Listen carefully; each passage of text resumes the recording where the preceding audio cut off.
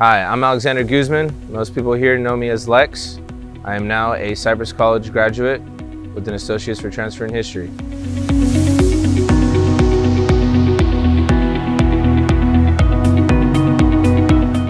I began here at Cypress as just a veteran student looking for some guidance and attending the college and managing my way through it. Eventually joined the Veterans Resource Center as a work study where I was able to better manage my studies as well as my employment.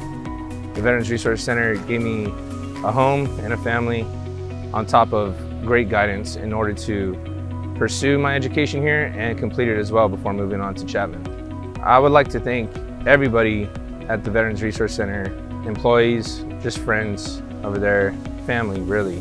Um, I would also like to thank professors uh, that were really important to me, such as Professor Halami and Professor Ghaffari. I would also like to thank just my family for obviously allowing me to pursue my dreams and my goals. Buen Cypress, we take this journey together.